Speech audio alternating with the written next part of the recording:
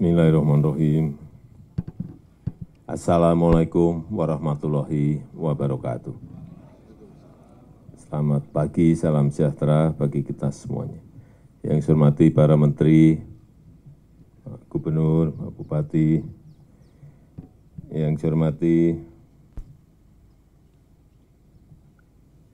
pimpinan Rumah Sakit Abdi Waluyo, Dr. Sigit Pramono, beserta seluruh manajemen, Bapak Ibu hadirin dan undangan yang berbahagia. Alhamdulillah pada pagi hari ini akan segera kita lakukan groundbreaking rumah sakit pertama di ibu kota Nusantara.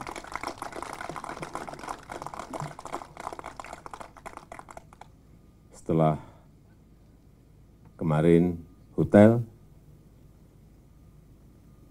tadi pagi training centernya PSSI, sekarang rumah sakit Abdi Waluyo Nusantara yang segera akan kita groundbreaking.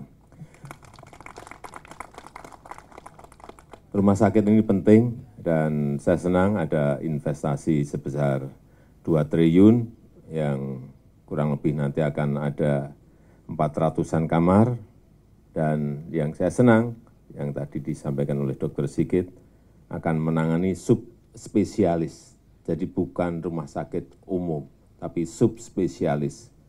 Dan kita harapkan ini menjadi sebuah daya tarik bukan hanya masyarakat yang ada di ibu kota Nusantara, tetapi juga akan bisa menarik pasien-pasien yang berasal dari seluruh Indonesia dan bahkan dari luar negeri. Itu yang kita harapkan. Dan dengan mengucap Bismillahirrahmanirrahim, Rumah Sakit Abdi Waluyo Nusantara pagi hari ini secara resmi saya nyatakan dimulai. Terima kasih. Wassalamualaikum warahmatullahi wabarakatuh. you